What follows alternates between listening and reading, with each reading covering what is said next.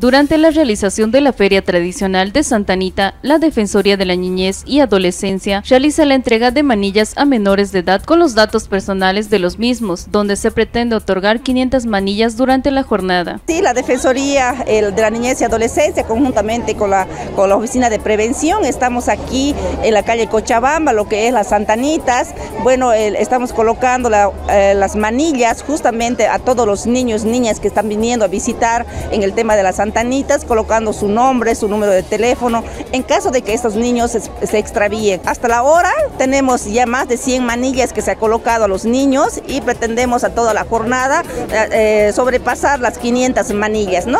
Es justamente para evitar también la trata de personas, ¿no? Entonces estamos haciendo el tema de la prevención. Así también la Dirección de Orden y Seguridad Ciudadana del municipio, a través de la Intendencia Municipal, realiza el control de las normas sanitarias a puestos de venta además de brindar seguridad a los visitantes en coordinación con la Policía Boliviana durante la realización de las actividades por Santa Anita.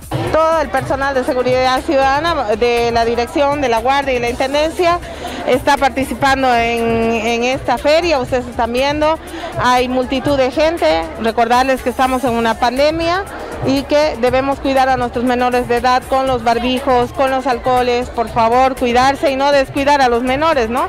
Sabemos que hoy en día hay problemas de trata y tráfico y queremos también proteger a todos nuestros niños. Ustedes pueden ver la presencia de la policía boliviana, está, está presente en las ferias, van a estar presentes también en el constructor y estamos comprometidos por ello. Todo nuestro personal va a estar eh, desplegado tanto de Intendencia como Guardia Municipal dentro de nuestras competencias, ayudando para que estas actividades salgan eh, muy bien.